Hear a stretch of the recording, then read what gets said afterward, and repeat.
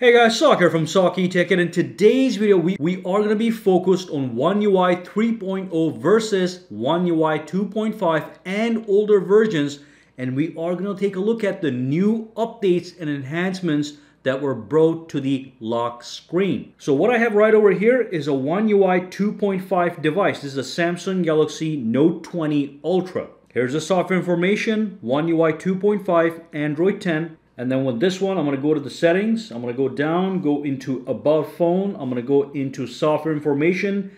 One UI 3.0 Android 11. Tap this a couple times and here's what you get. You get this dial. Dial it once, nothing happened. Twice, nothing happened. Thrice, nothing. Oh, there we go. So that's Android 11 right there when you dial it several times. All right. Now let's dive in and look at the features, the new features of the actual lock screen on One UI 3.0. Now before I dive in, I know that some of you guys are going to ask me, where do I get these wallpapers from? I have them linked down below. Click the link. It's going to take you to my website.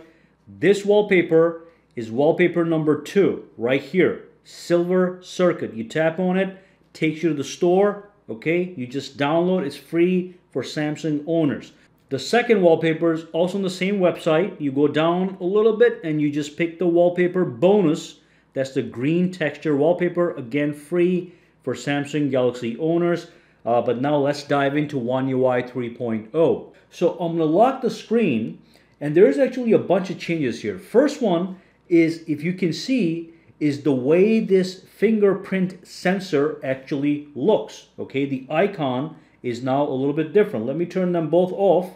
Double tap, double tap. Okay, you can see icon is now a little bit different. I like this one a little bit better.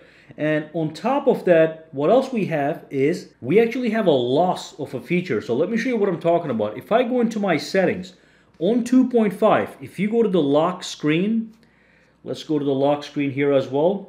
Okay, lock screen right here.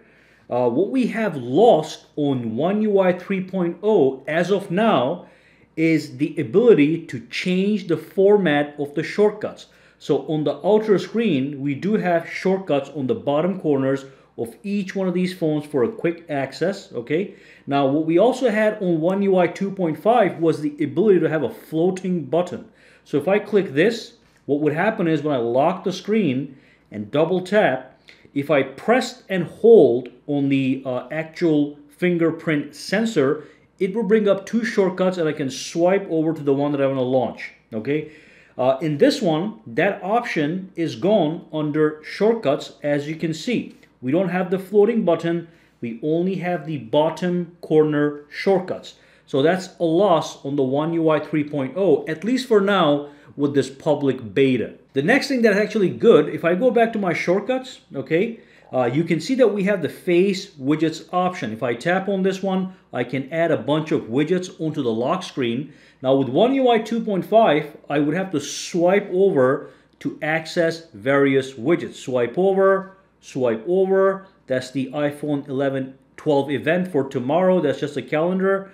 And then we have the no alarm in seven days. In the next seven days, that's the alarm. And then we have the weather, okay? And then we have the Bixby routines. But then we go back to the clock. Now with this guy, with the face widgets, first of all, the name has changed from, from face widgets to widgets. So if I click on this one, we have the same option. But this time, what we have is if I lock the screen, double tap to wake it up, I can't swipe over, but if I tap it, it expands all the available widgets, all right, as you can see. Now the funny thing is with this one here, if I tap on the clock, it just shows me the clock, just like this one.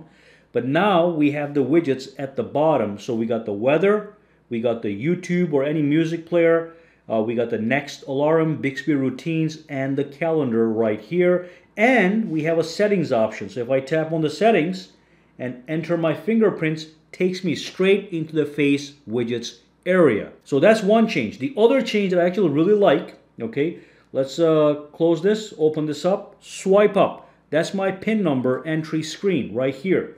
With this one, it looks much more modernized. As a matter of fact, some people have pointed out to me in my previous videos that it looks like iOS, this one right here, okay? So that's the new uh, PIN number entry screen. It's a little bit different on both phones.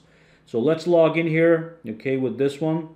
Log in, log in, okay? Now let's go to the menu and see if anything major has changed in the actual lock screen menu.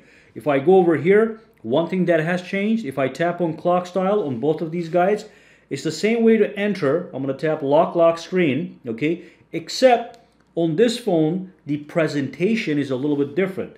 We have a wider area that showcases all the clocks. I can pick the clocks from here and pick the colors from here. With this one, I pick a clock, then I go over to color and pick a color. I think this is a little bit better, a little bit more efficient. So that's another change right there.